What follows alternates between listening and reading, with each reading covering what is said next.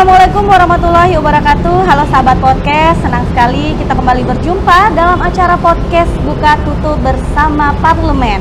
Bersama saya pastinya Noli Velayati dan sahabat podcast Hari ini senang sekali kita berkesempatan untuk ngobrol bersama salah seorang anggota DPRD Kota Makassar Yang saat ini menjabati uh, sebagai Sekretaris Komisi D Bidang Kesejahteraan Rakyat Beliau yaitu Bapak Hamzah Hamid Assalamualaikum warahmatullahi wabarakatuh Bapak. Waalaikumsalam warahmatullahi wabarakatuh. Bagaimana kabar hari ini? Alhamdulillah sehat-sehat. Alhamdulillah kita sudah dikasih kesempatan untuk ngobrol bersama sahabat-sahabat podcast yang ada di rumah Dengan tema penerimaan peserta didik baru atau PPDB Solusikah atau masalah? Namun sebelum kita lanjut ngobrol bersama narasumber kita hari ini Kita saksikan dulu video yang satu ini untuk lebih mengenal seperti apa sosok dari Bapak Hamzah Hamid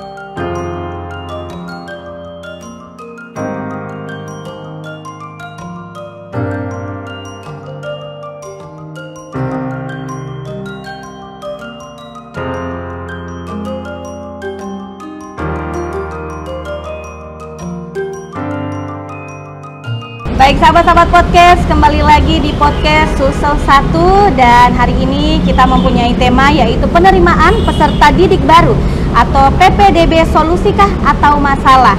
Namun sebelum itu kita berkenalan dulu dengan narasumber kita. Mungkin Ya. sahabat-sahabat podcast yang ada di rumah mau tahu ini Pak. Ya, Sebelumnya Bapak mungkin bisa menceritakan pengalaman tak Pak duduk sebagai wakil rakyat sudah berapa lama mungkin ini Pak menjadi anggota DPRD Kota Makassar. Eh, Alhamdulillah di DPRD Kota Makassar ini sudah tiga per- periode ketiga artinya sudah eh, menjelang 13 tahun menjelang Ya, 13 ya, tahun. Kalau betul. periode ketiga hampir 15 tahun, Pak ya. Ya, Karena 15 anggota tahun. DPRD kan Ya. satu periodenya itu dihabiskan lima tahun, tahun. Pak ya, lumayan Ya, lama. ya.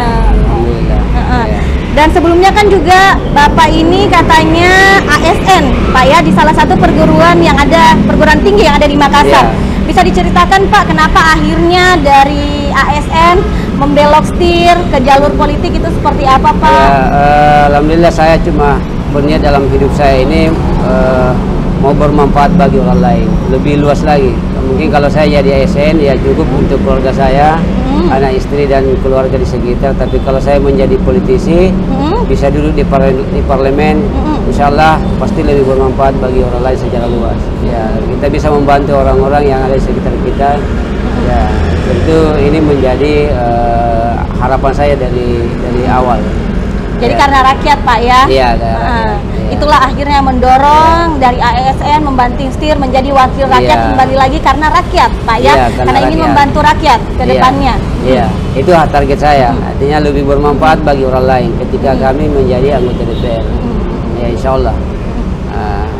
Tiga periode menjadi anggota DPRD Kota Makassar Iya, Pak. siap. Kurun waktu hampir 15 tahun. Iya. Pastinya banyak suka dukanya Pak ya Nah. menjadi anggota DPRD Kota Makassar. Iya. Seperti apa Pak? Mungkin bisa dijelaskan untuk sahabat-sahabat podcast yang ada di rumah suka dukanya menjadi anggota DPRD Kota Makassar seperti apa Pak? eh, suka dukanya itu tentu sukanya Hmm. lebih, eh, banyak, Mm-mm. dukanya tentu sedikit. Sedikit. Ya sukanya itu karena Mm-mm. Alhamdulillah eh, saya bisa banyak membantu orang-orang di sekitar saya, orang-orang yang ada di yang membutuhkan pendampingan.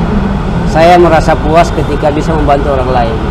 Itulah eh, Sukanya? eh, sukanya. Iya. Iya. Kalau dukanya itu tentu eh, karena ini waktu yang sangat terbatas menjadi anggota DPR itu eh, betul-betul waktu diluangkan untuk kepentingan masyarakat. Jadi kadang-kadang keluarga butuh perhatian, itu kadang-kadang tidak eh, tidak terpenuhi lah. eh, maksudnya dalam bentuk perhatian ya, karena kita lebih banyak waktu di luar. Hmm. Ya, jadi saya kira itu suka du- dukanya ya. Ya, dukanya karena banyaknya waktu yang dihabiskan bersama bersama eh, konstituen, bersama eh, orang luar. dibanding dengan keluarga Iya, Pak ya. Tapi iya. kembali lagi Pak pilihan Iya, Bapak memilih menjadi wakil rakyat berarti sudah siap dengan konsekuensi itu Ya, Pak ya. iyalah, keluarga saya kira sudah siap, cuma saya yang merasa Oh, bahwa kadang-kadang keluarga butuh waktu untuk bersama-sama, tetapi eh, sesuatu dan lain hal ya kami tidak bisa bersama-sama. Tapi sejauh ini dukungan keluarga seperti apa Pak? Alhamdulillah dukungan keluarga ya sangat eh, luar biasa ya. Hmm. Artinya kami tidak pernah di, dipersoalkan kalau itu untuk kepentingan masyarakat. Hmm. Ya, baik waktu maupun material. Hmm. Ya, saya kira Jadi itu- keluarga 100% mendukung Iya, Pak ya 100%, apa ya. langkah yang Bapak ambil Iya, saat ini Iya, Pak saya ya. kira itu menjadi komitmen di awal Hmm. bahwa saya ini maju di DPR Hmm. untuk berbuat banyak Hmm. kepada masyarakat, Ya, ingin mengabdi kepada masyarakat. Ya. Bapak juga katanya saat ini menduduki jabatan sebagai Ketua DPD PAN Kota Makassar. Iya. Nah, sudah berapa lama itu Pak kita menduduki jabatan sebagai Ketua DPD PAN? Sudah menuju periode kedua. Periode kedua. periode kedua. Hmm. Artinya ya ini merupakan kesyukuran bagi saya karena saya yang latar belakang ASN, kemudian bukan dari siapa-siapa, kami anak dari kampung, tapi alhamdulillah bisa menjadi salah satu ketua partai di Kota Makassar yang notabene Partai PAN ini adalah partai yang saya kira besar di Sulawesi Selatan bahkan di Indonesia. Ya. Dan saya kira PAN cukup diperhitungkan di Makassar. Ya. Seperti apa ini Pak yang kita rasakan mendapatkan amanah yang begitu besar menjadi anggota DPRD Kota Makassar dan juga menjadi Ketua DPD PAN Kota Makassar. Bagaimana kita menjalankan amanah sebesar itu Pak? Ya, saya kira eh, saya sangat bersyukur dan berterima kasih kepada eh, ayahanda kami, orang tua kami Pak Sabul Kafi yang memberikan amanah kepada saya memimpin Kota Makassar. Tentu amanah ini saya akan jalankan sebaik-baiknya bagaimana membesarkan PAN di Kota Makassar. Ya. Sejauh ini kan Pak, Bapak sudah menduduki jabatan sebagai anggota DPRD Kota Makassar Iya, iya. tiga periode, Iya, ya Pak tiga ya, periode, kurang iya. lebih hampir 15 tahun. Apa Iya. saja yang sudah kita lakukan untuk rakyat Pak Kota Makassar? Eh, tentu banyak hal yang Hmm. kita sudah perbuat untuk kepentingan orang Makassar, untuk kepentingan warga Kota Makassar. Tentu Hmm. ya kalau saya mau rinci dari awal tentunya saya tidak bisa. Yang pasti eh, salah satu fakta yang membuktikan bahwa masyarakat puas dengan saya karena saya bisa terpilih tiga periode. Itu artinya masyarakat eh, senang eh, masih senang dengan saya dan eh, grafik perolehan suara saya itu dari periode ke periode itu eh, naik bukan turun. Jadi dari periode pertama turun di awal 3.500 periode kedua 5.000 lebih, periode ketiganya 6.000 lebih. Ini satu kesyukuran bagi saya. Artinya apa? Bahwa masyarakat pasti memberikan nilai plus kepada saya. Luar biasa. Ya, dan dan terbukti saya sudah terbanyak di Manggala Panapukan. Luar biasa. Tapi bagaimana caranya kita menepis ini Pak masyarakat yang menganggap bahwa wakil rakyat itu nanti di dekat pemilihan baru dekat ke rakyatnya. Eh, Kalau sudah terpilih malah dia lupa nih rakyatnya. Ah, itu Seperti apa, itu Pak? adalah oknum. Kalau bagi saya, kalau ada anggota DPR, ada teman-teman saya seperti itu, saya kira itu eh, apa namanya perlu di perlu di apa namanya dipertanyakan ya.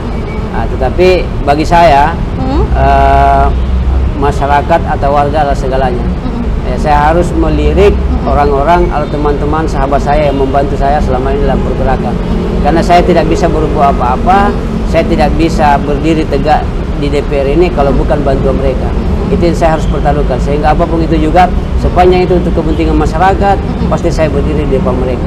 Dan terbukti berkat rakyat Bapak akhirnya bisa duduk tiga Iya. periode di Iya, DPRD Kota bisa, Makassar bisa Pak ya luar Artinya biasa. kalau masyarakat tidak tenang, pasti saya lebih tidak tenang lagi. Jadi apa pun keluhan masyarakat menjadi keluhan Bapak juga Iya, harus tetap Bapak perjuangkan keluhan itu pasti, Pak ya. Pasti, iya. Itu komitmen saya. Baik. Nah kita kembali lagi Pak membahas masalah Bapak menjadi Ketua DPD PAN Kota Makassar. Kok Bapak bisa memilih bergabung bersama PAN Pak? Bisa dijelaskan alasannya kenapa akhirnya Bapak memilih berjuang bersama PAN?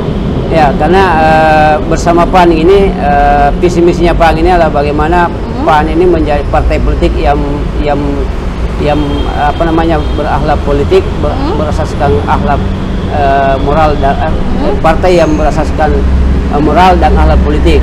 Jadi mengedepankan akhlak.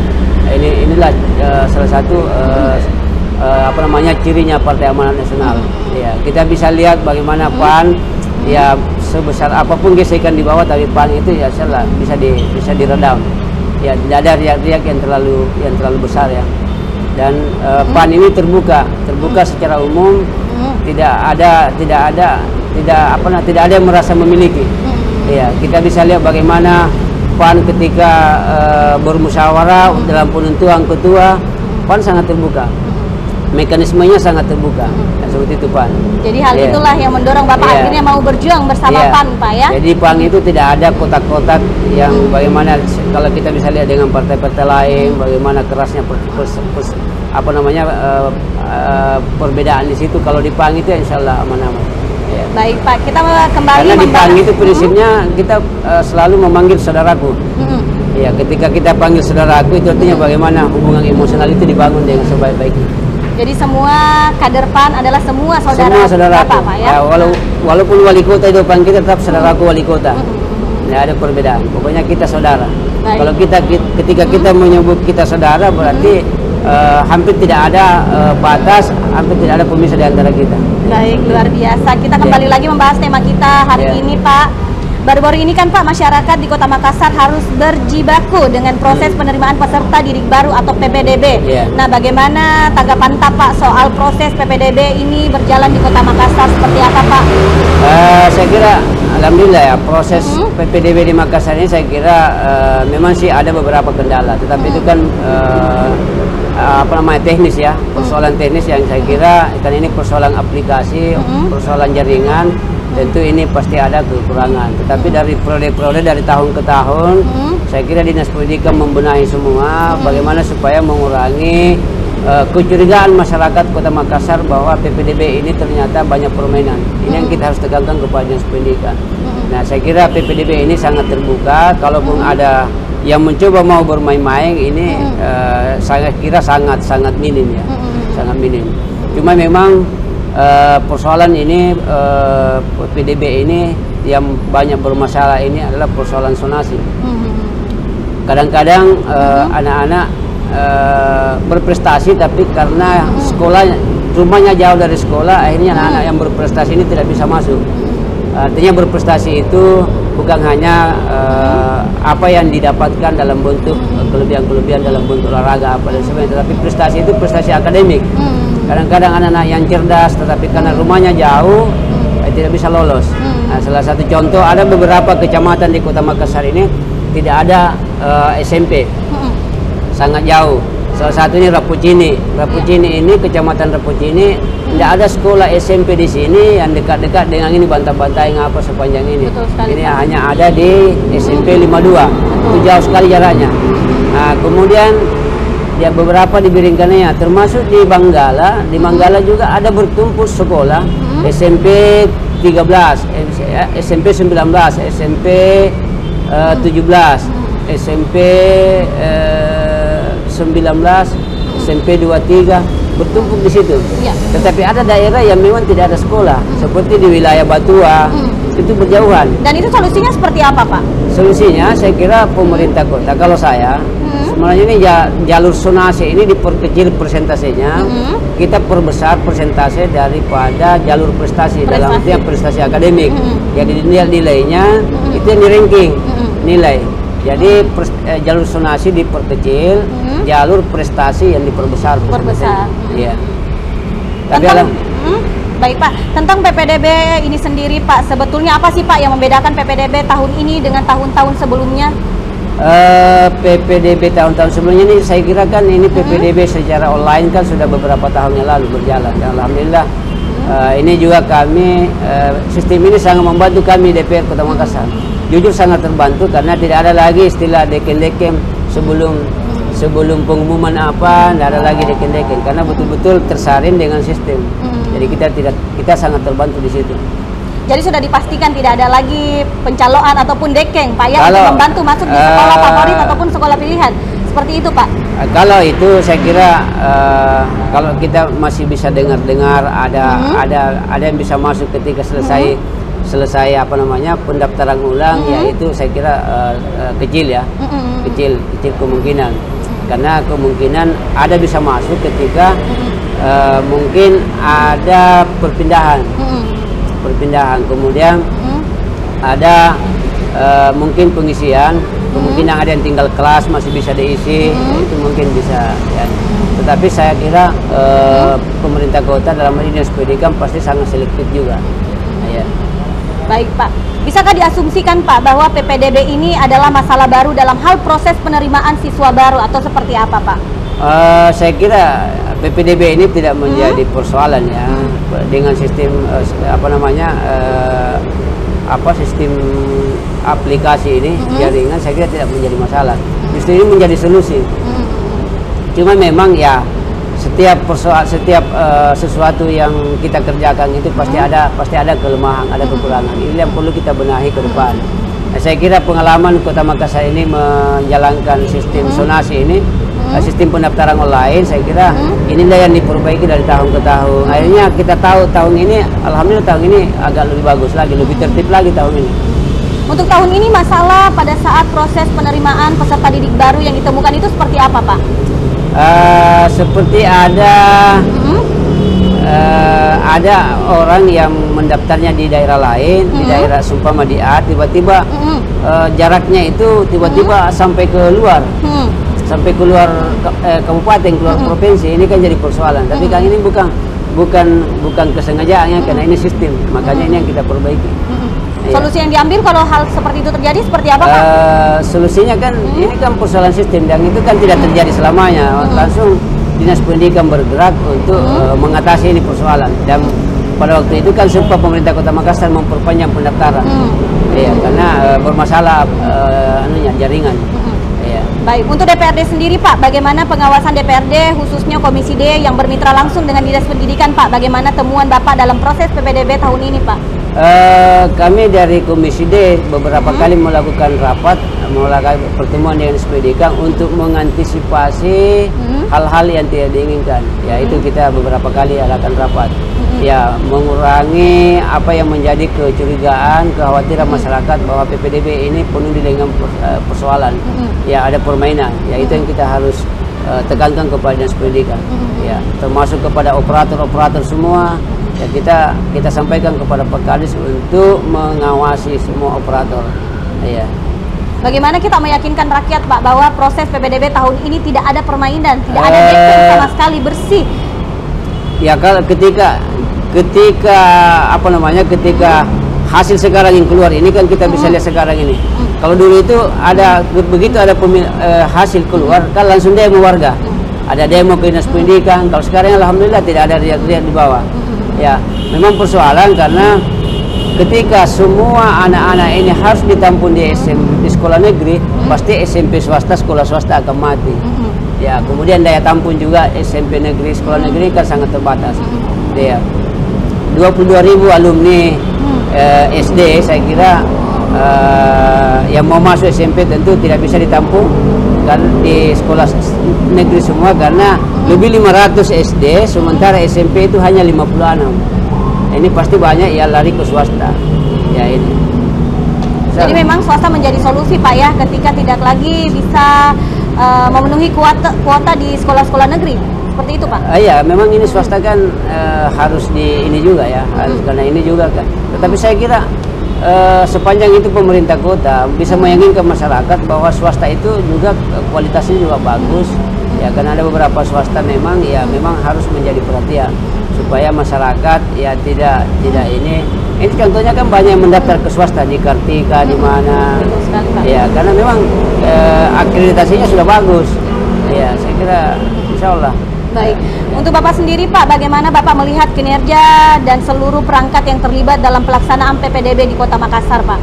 Ya saya kira uh, saya menyatakan bahwa hmm. kinerja uh, panitia PPDB tahun ini jauh lebih bagus daripada eh, tahun-tahun uh, sebelumnya. Hmm. Ya, kalau seperti yang saya sampaikan tadi, saya hmm. gambarkan bahwa tahun yang lalu itu sempat orang tua murid demo ke dinas pendidikan. Ya. Alhamdulillah sekarang ini ya, ya kita bisa lihat ya tenang-tenang. Alhamdulillah. Persoalan kemarin ada gangguan dari sistem ya namanya jaringan ya bisa saja jadi persoalan.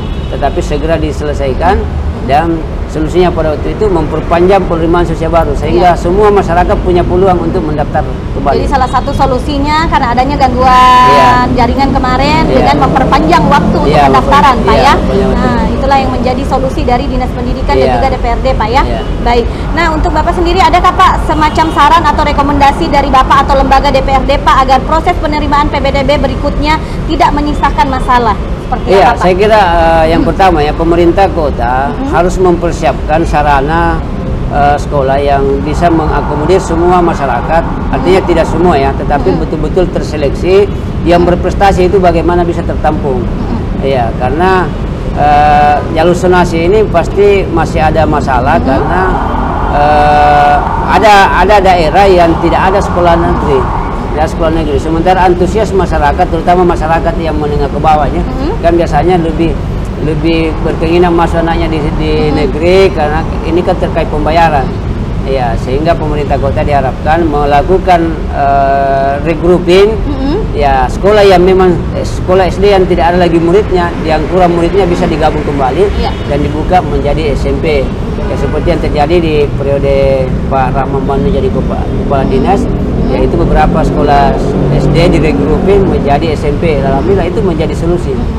Ya, saya kira seperti itu. Baik, semoga saran dari Bapak bisa dipertimbangkan Pak ya Iya, dan bisa Allah. direalisasikan tahun Iya. depan insya Allah, Insya Pak ya. iya, iya. Nah untuk Bapak sendiri Tapi ini Pak, bukan hanya Iya. pemerintah kota, pemerintah provinsi juga ini harus mempersiapkan karena lulusan SMP ini yang sekian yang 22 ribu ini dia harus masuk di SMA negeri Betul, melanjutkan.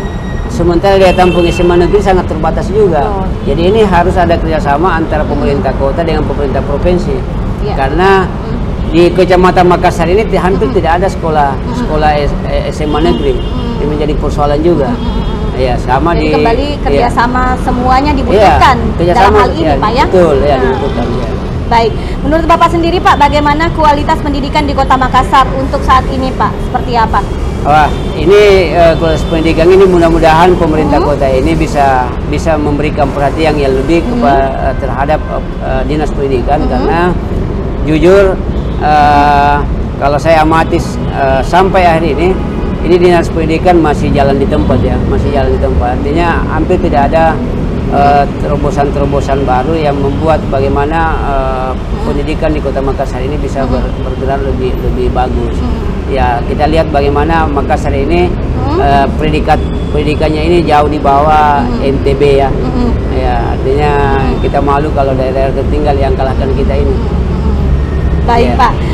Baik Pak, kedua dari terakhir Pak sebelum kita mengakhiri mengakhiri Iya. obrolan kita hari ini Pak, menurut Bapak bagaimana harapan Bapak ke depannya untuk pendidikan di Kota Makassar Pak seperti apa? Eh, saya berharap pendidikan untuk Kota Makassar ini betul-betul kita mendapatkan eh, layanan pendidikan yang yang murah ya, Eh, tidak lagi ada pungutan-pungutan. Ya saya berharap juga kepada sekolah swasta yang menerima dana bos supaya supaya tidak terlalu membebani masyarakat. Inilah kenapa kenapa masyarakat eh, hampir tidak apa- antusias masuk di negeri karena negeri tidak pembayaran. Di swasta ini mestinya pemerintah kota menekankan semua sekolah swasta yang menerima dana bos tidak boleh memberikan memberi peluang kepada muridnya untuk menarik iuran. Dan ini tidak mudah karena kadang-kadang sekolah swasta ini nanti di akhir biasanya di awal gratis, tapi ketika keluar itu diminta iuran, diminta biaya, biaya sekolahmu sekian. Padahal mereka ini berharap ya mendapat keringanan kemudian eh, apa namanya eh, mudah diambil ijazahnya ketika selesai. Sekarang ini banyak banyak anak-anak yang masih tertahan ijazahnya di sekolah-sekolah swasta karena dia tidak mampu Persoalan membayar, biaya. iya tidak mampu membayar eh, biayanya dari dari kelas 1 sampai kelas 3. Jadi harapannya Bapak semoga Iya. biaya pendidikan. Ya biaya pendidikan menurut saya harapan saya sekolah-sekolah swasta ini karena anda menerima anda menerima biaya, biaya operasional pendidikan BOP dana bos. Ya jangan terlalu membebani masyarakat Betul lah. Sekali, karena rata-rata yang masuk swasta ini adalah rata-rata anak-anak yang kurang beruntung orang tuanya. Jadi ke depannya masyarakat juga tidak takut lagi memasukkan dia anaknya ke sekolah swasta Pak ya. Yang pertama ditakuti kan persoalan pembayaran. Saya banyak fakta di lapangan, banyak anak-anak yang ijazahnya tertahan bertahun-tahun di sekolah tidak bisa diambil karena persoalan pembayaran yang direkapitul di, di, direkapitulasi dari dari kelas, Kelas 1 sampai kelas 3. Iya, ya Pak. itu. Ya, saya saya kira ini tugasnya dinas pendidikan bagaimana supaya swasta ini betul-betul berpihak kepada masyarakat. Baik. Ya. Baik Pak, semoga harapan Bapak ke depannya bisa Ya. menjadi kenyataan, bisa terwujud Pak Ya, ya. Baik, dan mungkin sahabat-sahabat podcast yang ada di rumah ingin tahu nih Pak bagaimana strategi politik tak ke depannya Pak di tahun 2024 mendatang. Apakah Bapak akan tetap melanjutkan perjuangan di DPRD Kota Makassar Ah. atau Bapak akan naik kelas lagi ke DPRD Provinsi seperti apa Pak? Insya Allah saya sudah berniat untuk maju DPR provinsi. Luar biasa. Insyaallah mudah-mudahan masyarakat Kota Makassar masih memberi uh, kepercayaan kepada saya untuk uh, naik satu langkah ya demi kepentingan masyarakat uh, saya kira untuk Kota Makassar juga.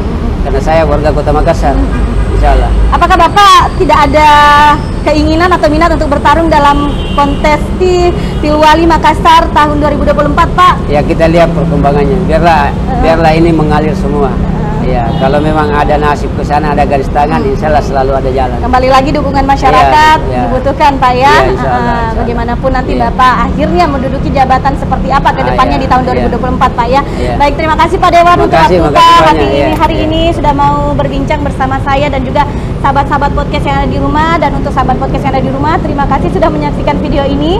Jangan lupa videonya untuk di like, comment, share dan juga subscribe dan terus saksikan video-video dan juga podcast-podcast bersama parlemen di sulsel1.com. Akhir kata saya pamit. Wassalamualaikum warahmatullahi wabarakatuh dan sampai jumpa.